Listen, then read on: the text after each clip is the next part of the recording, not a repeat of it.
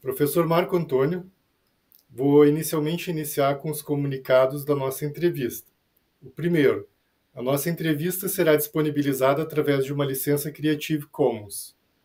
Segundo, uhum. a transcrição da nossa entrevista será publicada em português pelo periódico Química e em inglês no Southern Journal of Sciences. Terceiro, a duração prevista do nosso evento é de aproximadamente 45 minutos. E quarto, eu não sou um repórter profissional. Eu uhum. faço isso pelo bem da ciência. Tudo bem, professor? Perfeito, tranquilo. Muito obrigado. Hoje temos a honra de receber o professor Marco Antônio Soares de Souza, reitor da Universidade de Vassouras, uma instituição com quase 60 anos de história na educação superior. Professor Marco Antônio, é um prazer estar aqui com o senhor para essa entrevista.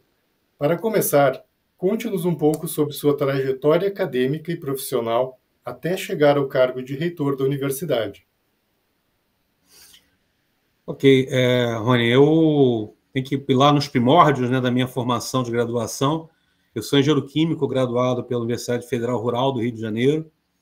Eu tenho mestrado e doutorado na área de química orgânica com meu doutorado direcionado para a parte de modelagem molecular, que é um ramo da química medicinal. É uma, uma área da química que estuda interação molecular em sistemas biológicos. E essa é a minha formação de base acadêmica. Eu, a, a despeito de ter me, me formado e procurado um curso de engenharia, eu não migrei para a carreira de engenheiro. Eu optei desde, desde os primórdios, de novo, desde o início da minha graduação, eu optei por seguir carreira acadêmica, com iniciação científica, com monitoria, e logo assim que eu me formei, eu, eu passei para um concurso de substituto da Rural, onde fiquei quase seis anos atuando como substituto, e vim parar aqui em Vassouras em 1995. Diga-se de passagem, no próximo ano, em setembro do ano que vem, eu completo 30 anos de instituição aqui. Que é um Parabéns. fato que me orgulha muito. Obrigado. E, e Vassouras virou em alguns momentos até a minha casa principal. A gente costuma dizer que o trabalho é a segunda casa, né? Não, Vassouras em alguns momentos substituiu a minha a função de lar, em função do tempo que eu passo aqui, pelos laços, pelos vínculos que a gente foi criando. E eu estou aqui, portanto, vou completar 30 anos, ingressei como professor de Química Orgânica, na verdade, Química Analítica, uh, e fui galgando cargos aqui dentro ao longo dos anos. Fui coordenador de curso, fui diretor de centro, na época que a nossa estrutura possuía o, o centro, o, as diretorias de centro. Uh, ocupei entre 2000 e 2004 cargos de coordenador, como eu falei, diretor e pró-reitor de ensino de, de, ensino de graduação. Me afastei por um tempo da gestão aqui entre 2005 e 2009, retornando como pró-reitor de ensino de novo. E em 2012 nós passamos por uma mudança uh, de gestão da mantenedora.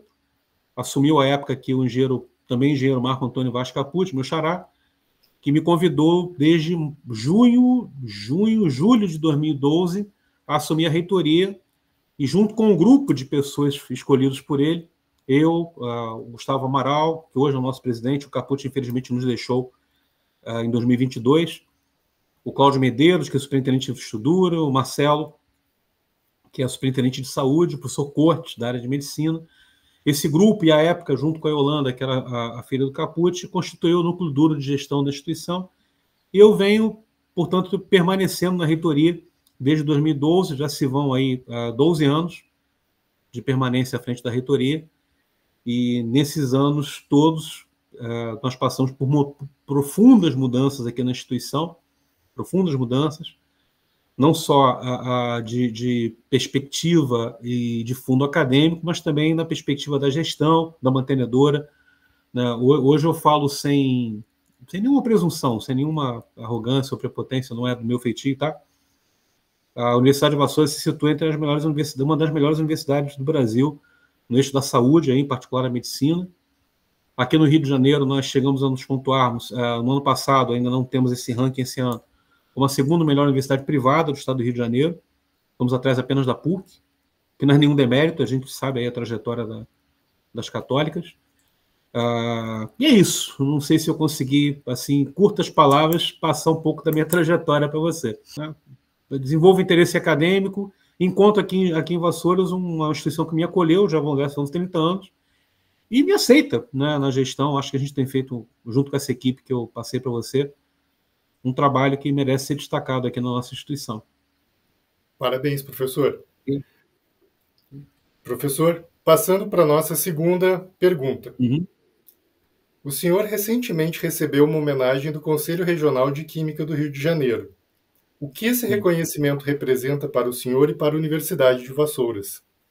Poxa, é, é fantástico. Primeiro, pela minha formação né, como engenheiro químico, ter essa, esse reconhecimento do Conselho.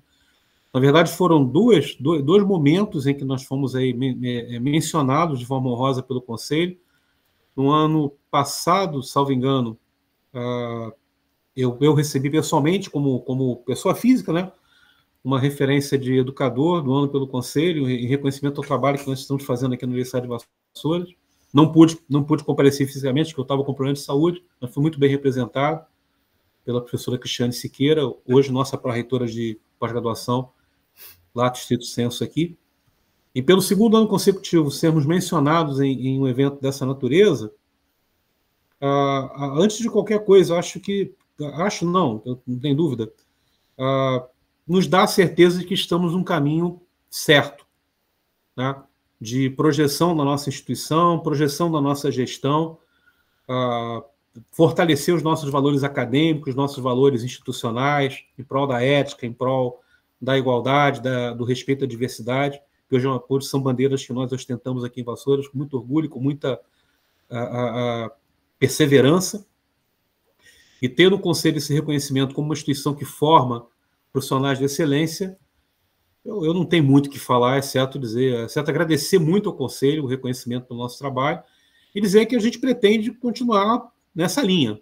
Né? Não tem porquê, não há porquê a Universidade de Vassouras hoje e a Fundação Educação do Severino Sombra não continuarem trilhando esse caminho de excelência em termos de qualidade de ensino, qualidade de pesquisa, qualidade de extensão, que é o nosso tripé. Né? E, e assim, só para finalizar um pouco a, a, a fala aqui, né? Uh, esse, é, esse reconhecimento também uh, traz, trouxe, a, trouxe à tona, perdão, uma constatação curiosa. Eu cheguei até a comentar com o presidente do conselho na, no evento. Me parece, eu fiz um levantamento rápido, não quero estar cometendo nenhuma uma gafe aqui, Sim, mas senhor. me parece que nós somos a única universidade privada no Brasil que tem como reitor engenheiro químico. Né? Não, não, digo o químico de trabalho, mas falo engenheiro químico. Me parece que Vassouras é a única universidade privada. Não falo pelas públicas, né? Eu não conheço tanto a realidade da gestão das públicas, mas conheço bem a das instituições é, privadas. Uh, sou membro já, já estou no terceiro mandato aí do Conselho de Reitores das Universidades Brasileiras. Hoje estou no Conselho Fiscal. Conheço bem uh, esse ambiente acadêmico das universidades e eu arrisco dizer que Vassouras é a única universidade privada no Brasil que tem um engenheiro químico já há 12 anos como reitor. Nossa terceira pergunta. Quais são os principais desafios de se gerir uma instituição com quase 60 anos de história? É, primeiro é você encontrar o equilíbrio que eu, eu entendo que nós encontramos ao longo desses últimos anos aí, e, e aí depois não tem jeito, eu vou ter que contar um pouco da nossa história recente, que ela é uma história é, interessante que precisa ser contada, né? é encontrar o equilíbrio entre uma instituição tradicional e a modernidade. Né? Inclusive, um dos lemas que nós cunhamos aqui há, há, alguns anos atrás é o Breaking Codes, né? quebrando códigos, né? né? mudando paradigmas, quebrando paradigmas, porque você, quando, quando é olhado pela comunidade acadêmica como uma universidade tradicional, você pode, em algum momento, ser, ser uh, engolido pela vaidade de pensar que você não precisa evoluir em direção a essa geração, principalmente geração pós-pandemia, e, usar as ferramentas que a, que a, tecnologia, a modernidade estão trazendo para o meio acadêmico. A gente tem que ter isso muito equilibrado. Tá? Porque há uma, há, uma, há uma certa sedução em você se escorar no conceito de ser uma universidade tradicional no meio acadêmico, isso é, isso é um apelo muito forte. E nós rompemos esse apelo, entendendo que a Universidade de Vassouras ela tem que estar com o norte, com o prumo, apontando sempre para a modernidade, sempre em direção às gerações que estão mudando a cada, a cada geração que ingressa na universidade, é uma geração diferente. A gente agora vai começar a pegar a geração da inteligência artificial no nosso meio. Né? Então, o, o, paradigma da sala de aula com um professor, com um quadro ou um projetor, detentor do conhecimento, ensinando o aluno a partir de, uma, uma, base zero de conhecimento, esse paradigma ele está mudando. O aluno hoje ele já chega na universidade, no mínimo, no mínimo, no mínimo, tendo onde buscar conhecimento a despeito da figura do professor. E a gente tem que caminhar em direção a essa geração. A gente não pode ignorar o fenômeno, né? Como eu disse, nos escorarmos do modelo tradicional de ensino e, e, dizer que essa geração tem que continuar sendo educada pelas formas como tradicionalmente nós, eu, você, provavelmente, fomos educados. Não, tem uma nova geração chegando e essa geração é uma geração que, que não olha para o passado, ela olha para o presente, ela olha para o futuro o tempo todo. Então, você pergunta qual é o maior desafio? O maior desafio é esse: é romper de uma forma equilibrada essas amarras que nos dão a ideia de que uma universidade tradicional tem que estar ligada a modelos tradicionais de ensino. E a gente, então, hoje começa a desenhar modelos. É, eu também não gosto de usar a palavra moderno, porque o moderno hoje já fica ultrapassado amanhã, a coisa está mudando com uma velocidade muito grande. A gente tem que estar o tempo todo é, buscando modelos na vanguarda do que, é, do que são as tecnologias, do que é o método de ensino-aprendizado. Outro desafio também, quando você está à frente, como eu estou já há 12 anos como reitor dessa universidade, é, é você enfrentar hoje, eu vou, eu vou tentar me explicar bem para você aqui, para não, não ficar nenhum tipo de. como é que eu vou falar para você? De fala apelativa, né? Mas como instituição tradicional, como uma instituição privada. Né? Eu sou a despeito de, de, ser uma instituição filantrópica sem fins lucrativos, eu sou uma universidade privada, eu sou uma fundação educacional privada que atua, um pontuar aqui também, não só no eixo da saúde, da educação, como atua também no eixo da saúde. Nós fazemos gestão de alguns hospitais, né? acabamos de adquirir um hospital de referência no, no, Rio de Janeiro e conhecido no Brasil inteiro, que é o Hospital Mário Creif, no Rio de Janeiro, além do nosso hospital universitário aqui em Vassouras, que é o hospital de grande porte, Estamos construindo outro hospital com 30 mil, mil metros quadrados. Então, a fundação atua na educação e na saúde.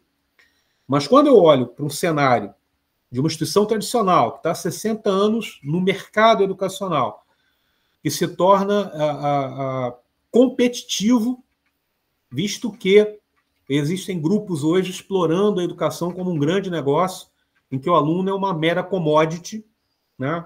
em particular, os cursos de medicina são vistos dessa forma, quando eu, quando eu olho para esse mercado, eu digo o seguinte, como Universidade de Vassouras, eu não vou me posicionar dessa forma.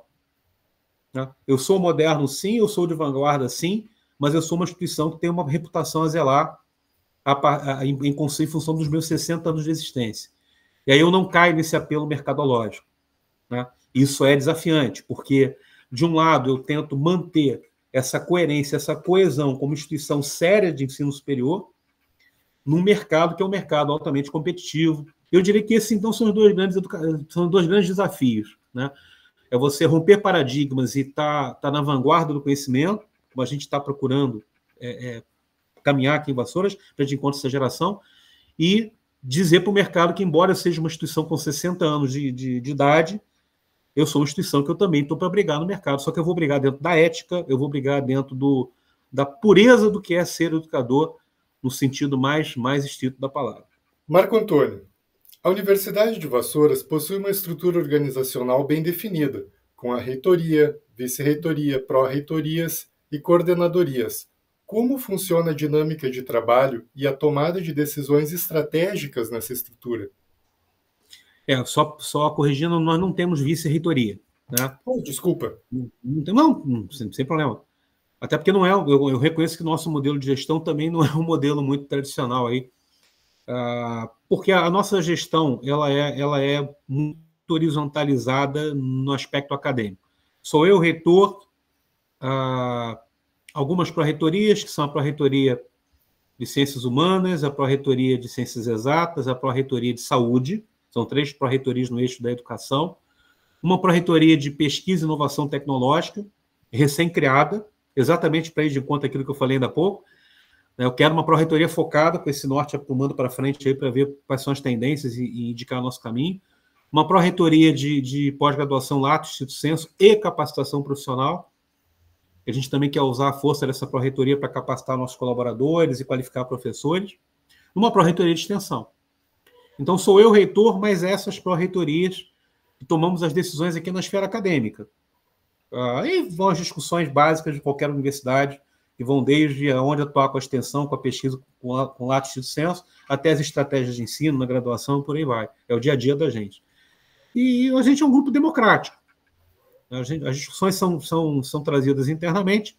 Há uma, uma linha a ser seguida pela mantenedora. Eu vou chegar depois nessa estrutura a, a superior, que é a gestão da mantenedora. Uh, mas eu diria para você que uh, nós temos um modelo de gestão bastante democrático aqui, principalmente no que diz respeito às discussões serem trazidas à tona e tratadas com muita transparência, com muita tranquilidade. Obviamente, e aí de novo, por sermos uma instituição privada, por ser uma instituição que, que milita no mercado altamente competitivo e, e tem paradigmas existenciais muito bem definidos também, a gente, a gente diz que é uma gestão democrática, mas tem linhas muito bem definidas a serem traçadas, né? Para não cair naquela coisa de outras instituições que eu conheço aqui que, que ficam muito na, na no discurso e, e não saem para o campo da prática, para a execução. A gente aqui também procura equilibrar muito isso, mas de forma democrática. Nada aqui é imposto, nada é imposto. O, o Capucci e o Gustavo, que é o atual presidente, sempre trabalharam numa linha, e nós absorvemos essa cultura, de que as ideias devem ser discutidas até a exaustão. Enquanto houver um ponto uh, de não congruência, a, a, estratégia não está plenamente desenhada e, alinhavada. Né? Depois que você consegue trazer uma congruência, e aí a gente fala que quando você busca congruência, em alguns momentos você conflui, e aquilo que não conflui você abandona, né? em prol do objetivo maior. E a gente vem fazendo gestão dessa forma. Né? Quando, quando se chega a tomar uma decisão, isso foi discutido exaustivamente interno da, da, nas esferas internas, entre as pró-reitorias, e a gente decide, põe para fazer. E, e, de novo, conhecendo outras realidades institucionais, eu digo que nós temos um modelo de gestão bastante eficiente em termos de tomada de decisões e execução dessas decisões. Isso também tem nos diferenciado muito. As instituições privadas, por força da regulação educacional, elas precisam ter a figura de uma mantenedora. O que é a mantenedora? é uma entidade, ah, aí tem várias, várias entidades de várias naturezas, a nossa é uma entidade filantrópica sem fins lucrativos, né, que faz a gestão administrativa, financeira, estratégica das suas mantidas. Então, por exemplo, a Fundação Educacional Severino Sombra, que é a mantenedora da Universidade de Vassouras, ela também mantém o Hospital Mário Creif, nosso Hospital Universitário de Vassouras, faz a gestão do Hospital Municipal Miguel Pereira, a, a cuida da Universidade de Vassouras e as suas, os seus campos fora de sede. Hoje nós temos, até o momento, dois campos fora de sede, são Maricá e Saquarema. E temos também outras mantidas, que são faculdades que estão debaixo da gestão da mantenedora, que é a Faculdade de Miguel Pereira e a Faculdade de Ciências Médicas de Maricá. Recentemente passamos por um processo de autorização em Friburgo, de uma faculdade de medicina lá, e estamos abrindo outras frentes aí, projetos que eu não posso é, é, é trazer a público aqui. Sim. Mas então a mantenedora, que é essa entidade que promove essa, essa supergestão das mantidas, é ali que está tá concentrado o centro estratégico. É ali que está concentrado o centro de decisões. De forma que a universidade, quando, como, quando precisa adotar alguma política da mantenedora, ela discute internamente, mas ela sempre segue uma linha a, a, definida pela mantenedora. E eu ocupo, na verdade, dois cargos na instituição. Eu sou reitor da universidade então, reitor da Universidade de Vassouras, e eu sou superintendente acadêmico na Fundação Mantenedora. Aquele grupo que eu te falei ainda há pouco, que o Marco Capucci montou. E mesmo com, com o falecimento do Marco em, em, dezembro de 2022, o grupo se manteve unido. O presidente da fundação ele é eleito, tá? Aqui não tem um cargo, ninguém se perpetua em cargo aqui. Nós passamos por um escrutínio de um conselho eleitor. E o vice-presidente da mantenedora à época, o Gustavo Amaral, é, de novo, eu digo que esse grupo, eu, Gustavo, Cláudio, Cortes, a Yolanda já não está mais fazendo parte do grupo diretamente, e o Marcelo são os discípulos do Caput, né? Hoje somos discípulos do Gustavo, que tem feito um belíssimo trabalho aqui na mantenedora, belíssimo trabalho. Então, a mantenedora, ela, ela cuida dessa gestão macro, né? Então, a, a, isso foi uma coisa muito legal também que, o, que foi desenhado aqui, porque eu, como reitor, eu consigo ter a visão do que acontece nas unidades de saúde nós fazemos gestão. Isso é muito interessante, tá? Da mesma forma, os gestores do hospital, que são o Marcelo e o Dr. Cláudio, que teve um tempo à frente disso, conseguem ter uma visão do que está acontecendo na academia. Isso gera uma sinergia na mantenedora. Marco Antônio, sabemos que o senhor também atua como avaliador do INEP-MEC e do Arco Sul. Como essa experiência contribui para a sua visão e atuação como reitor? A pergunta é excelente, porque eu costumo, costumo brincar com os outros colegas avaliadores e com as instituições. Brincar, brincar de forma séria, né? Brincar maneira de dizer que a avaliação, essa avaliação que a gente faz é uma consultoria de graça para a instituição e é uma escola de vida para a gente como avaliador. É verdade. Porque você vê de tudo, você vê as experiências que deram certo, você vê as experiências que deram errado, você vê instituições semelhantes à tua, que passaram por problemas semelhantes aos teus, e as superações, as ideias. E eu, eu tento, a despeito da, da do próprio INEP e do próprio MEC sugerir que a gente não dê conselhos às instituições, a gente realmente não faz isso, é, é até antiético. Mas sempre que eu posso compartilhar uma boa experiência da minha instituição ou das outras que eu visitei para ajudar uma instituição séria, que a gente também encontra no mercado aí é, instituições não sérias, infelizmente, a gente procura usar essas experiências para socorrer quem está precisando de socorro e muita coisa a gente acaba trazendo para cá também, né? Porque se tem uma coisa que é admirável no meio acadêmico brasileiro é a criatividade dos gestores, a criatividade dos acadêmicos para superar crises. É impressionante o celeiro de ideias que a gente, a gente consegue a, a, a coletar atuando como avaliador. Tá? Então, realmente, o Brasil se diferencia, acredito que do resto do mundo, tá? Apesar de ter um sistema de educacional bastante complexo, em particular a regulação, uma regulação muito, muito pesada, muito. Agora tem gente muito séria, muito séria, muito séria trabalhando. E sempre que a gente pode, a gente dá uma, uma, uma entre aspas, né, assessoria, compartilhando experiências que nós vimos em outras instituições, na nossa própria. Tá? Ah, eu sou, acima de qualquer coisa, eu sou educador. Eu escolhi isso. Como eu falei no início, eu sou engenheiro químico de formação, mas eu não escolhi a, a indústria como carreira. Escolhi ser educador. Então, como educador, a gente acaba compartilhando experiências. O educador, por natureza, é um grande compartilhador de experiências. Está no, nosso, tá no nosso DNA isso aí. Está no DNA. Respondendo a tua pergunta, é, é isso. ajuda muito, ajuda muito, porque esse celeiro, esse, esse panteão de ideias que a gente encontra no ensino superior brasileiro, é impressionante quando você está passando por uma crise e busca lá no seu HD mental o que, que o cara fez na instituição tal e você fala aquilo faz sentido, vamos trazer para cá, vamos compartilhar isso. E eu, eu tenho a impressão, tá? Nunca, nunca tive essa fala de ninguém dentro do INEP, mas quando idealizaram esse modelo de avaliação, pensaram nisso também.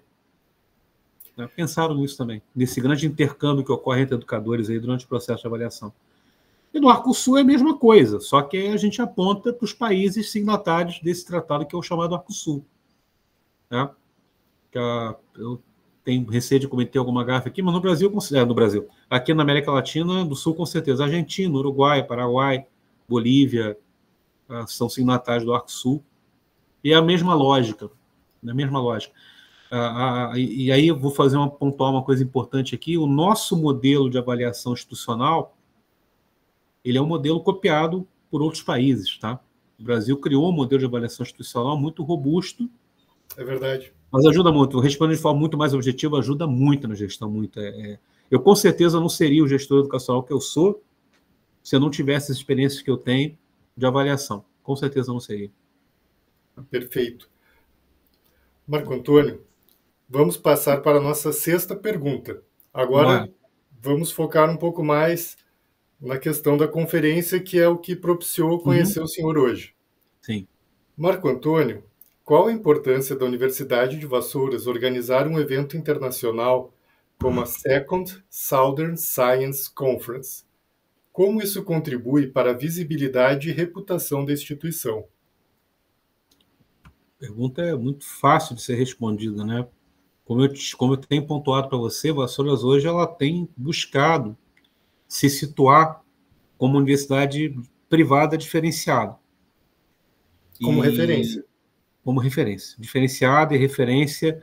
Temos um eixo uh, muito forte aqui, que é o da saúde, mas a gente não, não milita só no eixo da saúde, por razões até certo ponto óbvias, é né? uma fundação que cuida de educação e de hospitais, tem um eixo muito forte na saúde, mas a ciência, em particular a química, como eu te falei, meu doutorado é, é, é, modelar, é química orgânica, modelagem molecular e química medicinal. A química está em tudo. A química está tá em tudo, não tem como separar. Até, até brinco com o nosso superintendente da medicina aqui, que ele, que ele brinca muito com os engenheiros, né? Fala, ô, fulano, não fosse os engenheiros, vocês estavam receitando, receitando chazinho até hoje, cara. É verdade. A gente está, a química e a engenharia em todas as áreas está muito forte dentro da, da, da área da saúde também. Então, poder participar dessa conferência, e como organizadores, inclusive, é consolidar essa trajetória. É um passo, um tijolo a mais, consolidando essa construção que a gente está buscando aí ao longo dos últimos, em particular, nos últimos 12 anos. Tá? Ah, é, acima de qualquer coisa, é uma grande honra a gente poder estar junto com, com vocês na organização desse evento e dos outros parceiros também. Eu não Nossa, vou elencar. Com a universidade. A honra é nossa. E agradeço também, eu estava vendo todos os parceiros que fazem parte do projeto aí. Resumindo assim, em uma frase rápida, é, é a consolidação do nosso projeto de diferenciação como universidade privada de qualidade. E, e nós temos uma pegada muito forte, Rony, da inovação, no eixo da inovação tecnológica. Vassouras tem uma peculiaridade interessante. E, de novo, aí eu vou pegar a experiência como avaliador para relatar algo que eu sei que nos diferencia de outras instituições mais ou menos da mesma linha. Uh, há uma verdade no Brasil, uma triste verdade no Brasil, uma lamentável verdade no Brasil, de que a universidade privada não consegue fomento. Os órgãos de fomento tradicionalmente investem muito pouco nas universidades privadas. Né? Historicamente falando, isso não é problema de governo A, B, C ou D de forma alguma. Tá? Historicamente, eu até nem tiro toda essa razão, porque, de novo, eu conheço o setor, eu sei que tem gente séria, tem gente não séria. Né? Então, dito isso, a gente sabe que não tem essa fartura de fomento para a universidade privada. E o pessoal fala que a universidade privada não faz pesquisa porque não tem dinheiro. Né?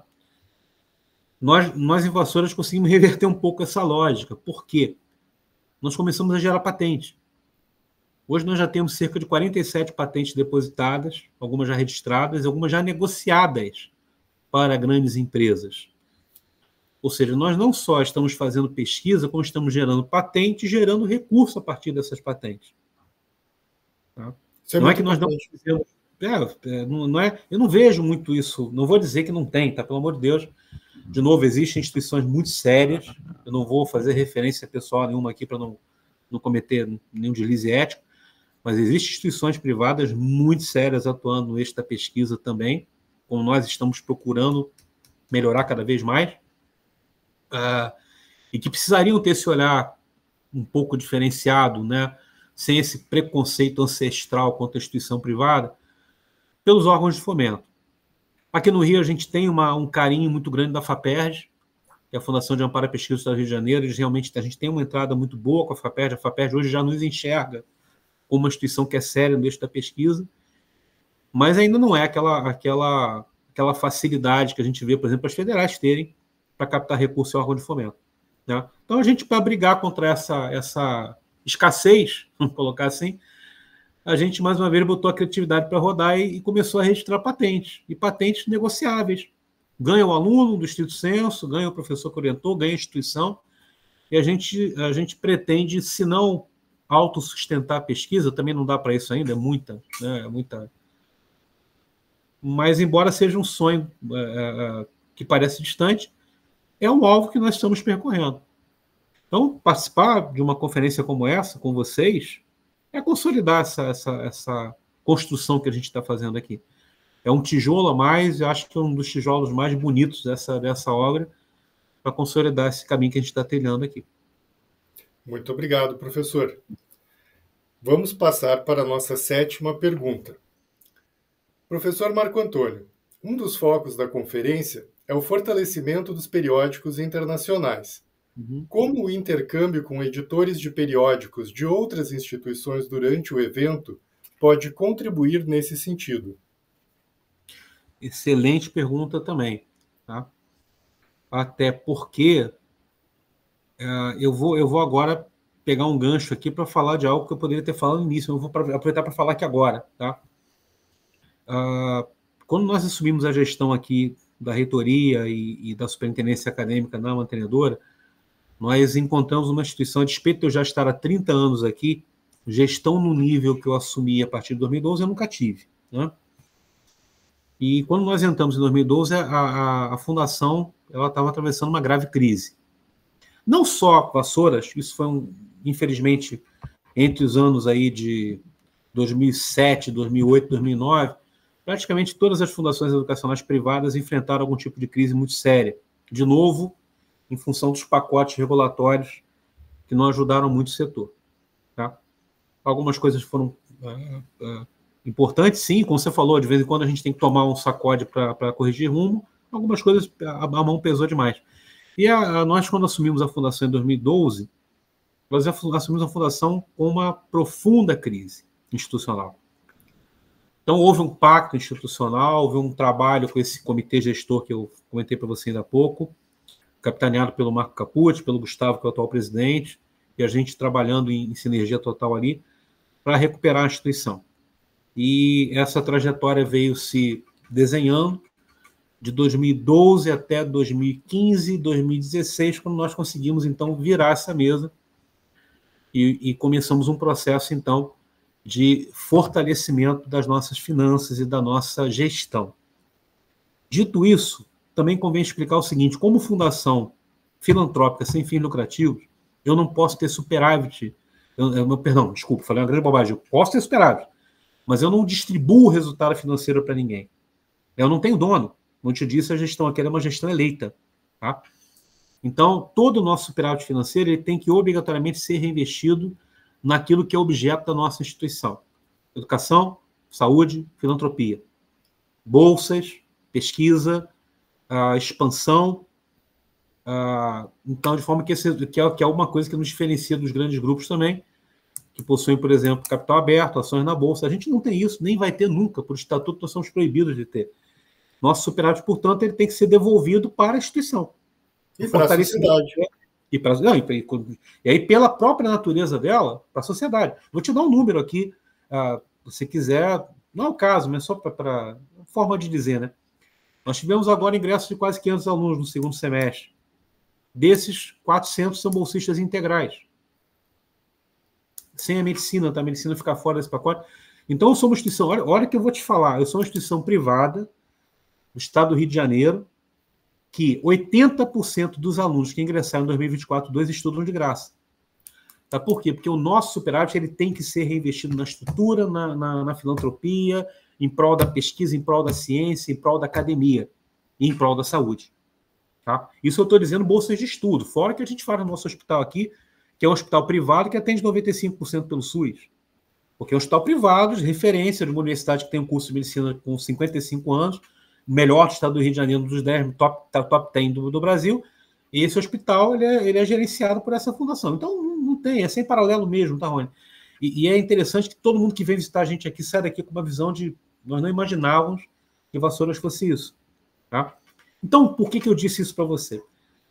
Nós assumimos a Fundação Farida em 2012, passamos aqui por duras penas até recuperá-la financeiramente entre 2015, 16 e 17. Em 2017, já totalmente saneado, inclusive numa, numa, trajetória de recuperar a credibilidade da, da nossa marca institucional, nós entendemos que nós precisávamos expandir. E é nesse momento que a gente vai ali para Maricá, vai para Saquarema, olha Nova Friburgo, outros campos que estão surgindo, Miguel Pereira, com a Faculdade de Miguel Pereira, e começamos nesse eixo agora o nosso processo de internacionalização. E aí eu vou chegar na tua pergunta. Né? Qual a relevância né, é, é, dessa integração toda, toda, porque hoje nós estamos uh, com, com ações escritório nos Estados Unidos, em Portugal, e a gente está começando um trabalho também com o governo de Angola, a gente está começando um trabalho com a Espanha, está começando uma articulação com El Salvador, com o Paraguai. É, e, e, veja bem, no, no, mesmo espírito, nós queremos levar o nosso modelo educacional, nós queremos levar o nosso modelo de fazer ciência e tudo que está ligado à universidade para esses países que a gente está começando a entrar agora. Temos uma predileção aí para os países de língua portuguesa, a gente está ou língua hispânica, né, pela, pela questão da afinidade linguística, a própria proximidade. para proximidade, nada contra de forma tanto que a gente está escritório nos Estados Unidos agora, agora não, desde o ano passado. Mas quando você pensa no eixo da internacionalização, que a gente está fortalecendo agora também, não tem como você caminhar para a internacionalização sem ter esse diálogo né, com esses parceiros internacionais aí. Não tem como. Perfeito.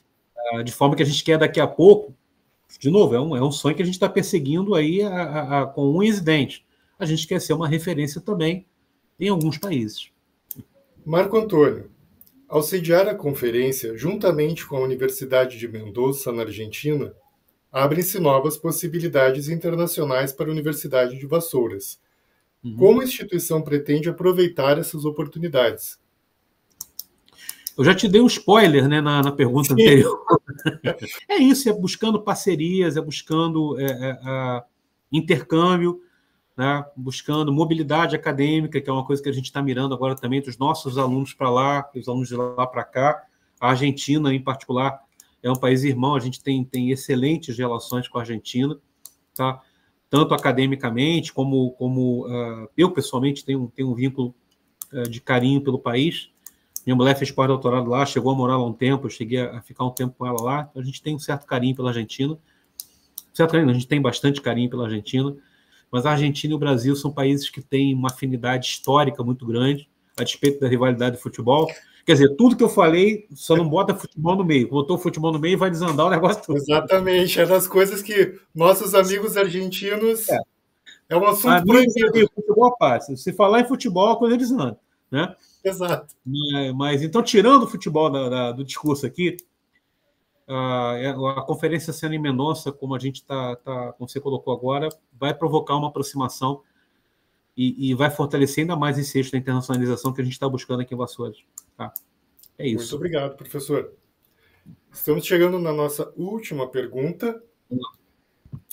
Após a conferência, quais serão os próximos passos da universidade para capitalizar os aprendizados e contatos obtidos durante o evento, visando o contínuo fortalecimento de sua produção e divulgação científica?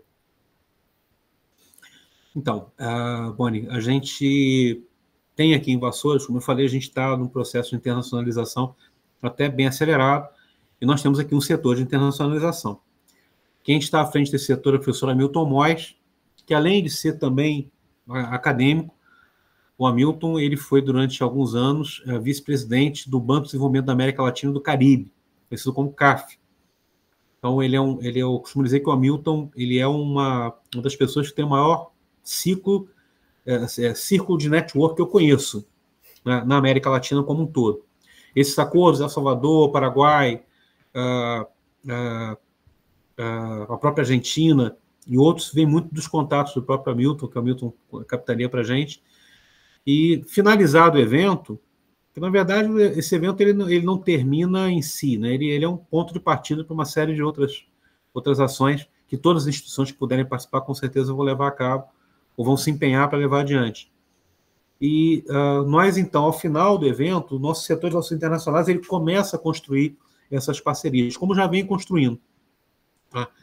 E, de novo, né, como instituição que hoje enxerga uh, como, como parte importante da sua missão, se expandir né, e disseminar o seu modelo educacional, disseminar o seu modelo de gestão em educação e saúde, não só no Brasil agora, mas pela América Latina.